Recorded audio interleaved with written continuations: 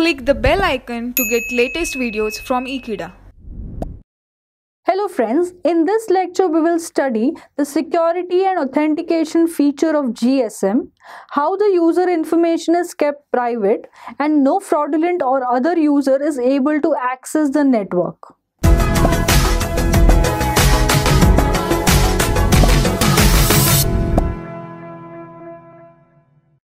The main aim of the GSM system is to provide authentication and security to the user.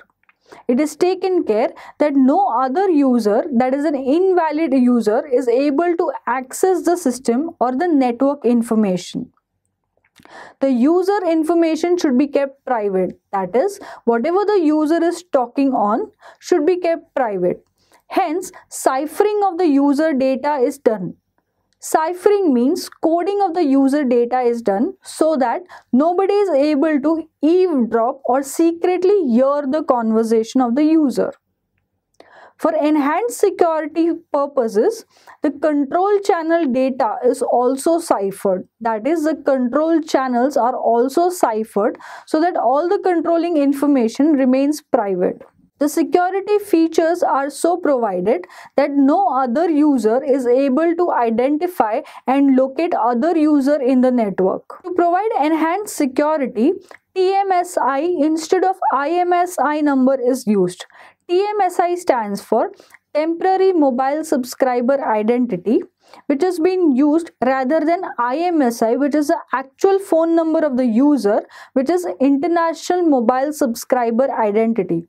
TMSI is used instead of IMSI so that instead of sending the actual IMSI information on the channel, we are sending a short form of IMSI in terms of TMSI which is a coded version. Instead of IMSI, the TMSI number is sent on the channel.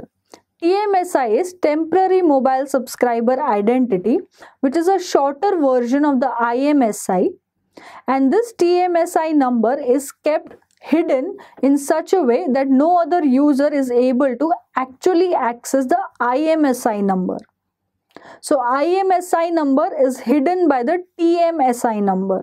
The IMSI number is incorporated into the SIM card by the operator at the time of service providing. Along with this IMSI number, there are other information like authentication key KI encryption algorithm A5, cipher key generation algorithm A8 and an algorithm called as authentication algorithm A3 all this information is stored in the SIM at this time of the service providing. The authentication center generates various keys and associates them with the IMSI number of the user. The authentication center for every IMSI number provides a set of three data information or also called as triplets. That is a random number which is called as RAND, a signed response which is called as SRES and third one is a cipher key which is KC.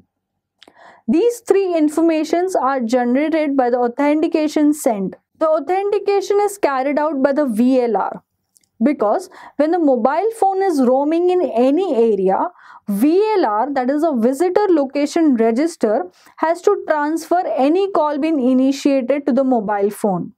Hence, authentication happens at the VLR itself.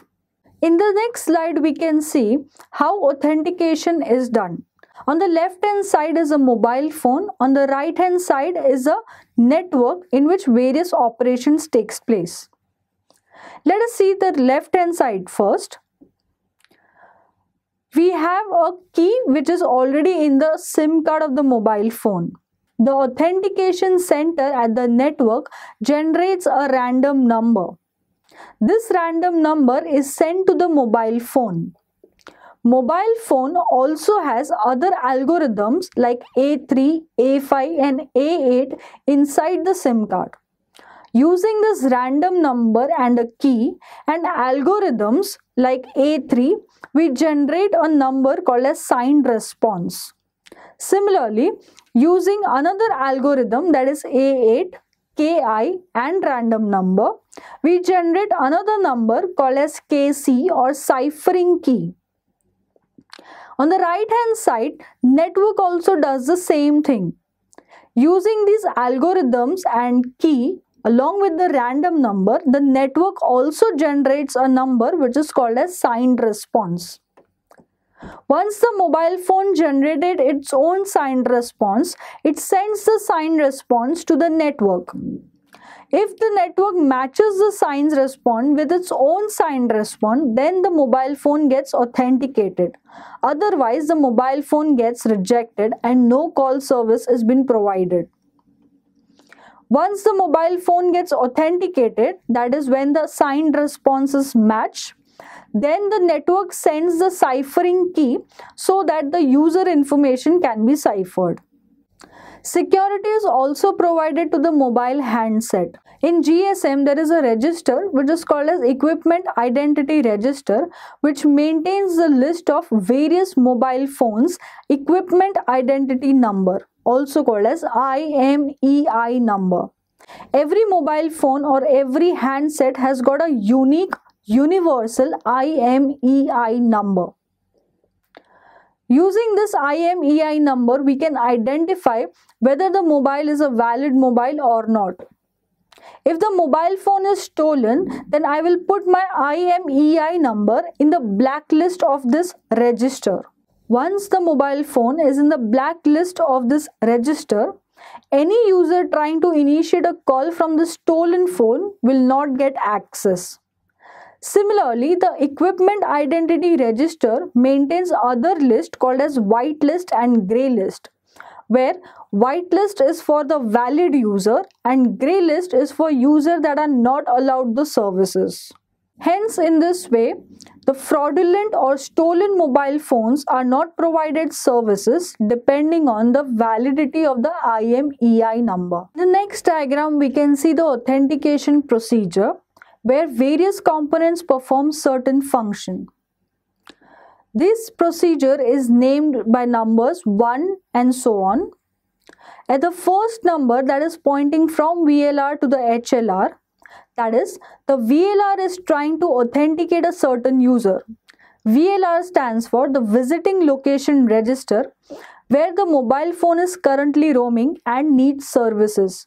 Hence, we first have to authenticate that user, only then we can provide the service. So, VLR sends the IMSI number of the user to the HLR. HLR generates a set of three numbers which are called as random number, signed response and cipher key and returns them to the VLR on the second stage. We can see the second number pointing from the HLR to the VLR. The VLR then sends the random number to the mobile station.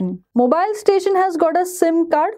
In that SIM card, we have already numbers that have been stored like cipher key various algorithms like authentication algorithm, cipher key generation algorithm and encryption algorithm. Using these algorithms, random number and the key KI, the mobile station generates a number called as signed response.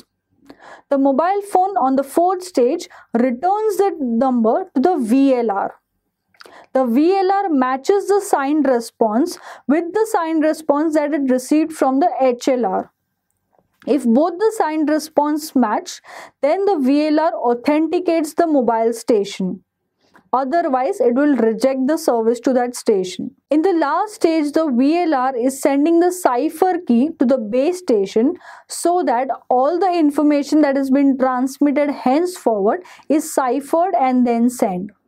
In this way, authentication takes place in the GSM network. Thank you so much for watching this video. Stay tuned to Ekeeda and subscribe to Ekeeda.